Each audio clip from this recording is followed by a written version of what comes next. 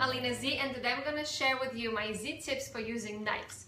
Now, did you know that the most dangerous weapon in your kitchen is a dull knife? You know why? Because it takes a lot of pressure to work a dull knife. We want to use a very good sharp knife. And I use these. These are Abundant Chef knives made out of zirconium ceramic, which is second to diamonds in its strength. Now, when you hold on to the blade in a regular knife, this part of your finger, this part of your index finger gets hurt on the top part of the knife. And so I would always get these cuts.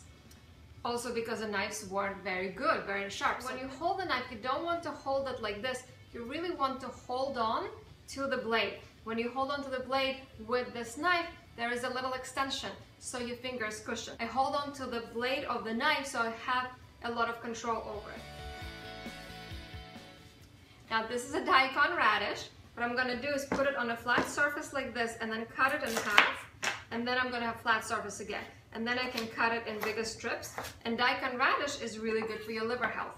And you care about your liver because your liver is your biggest detox organ. When your liver is healthy, you can detoxify better.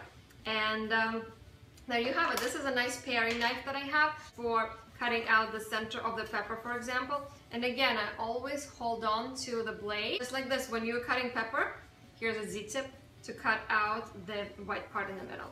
I eat it, but it just doesn't, doesn't look pretty when you're, mm, so yummy, making a bowl. So here's a little bowl that I made, and I'm gonna add some daikon radish in here, because I was not having as many pieces, and I'm gonna get to enjoy my hummus. If you want my hummus recipe, you can watch it right here. I'm gonna put my hummus recipe and um, I'm gonna dip into it.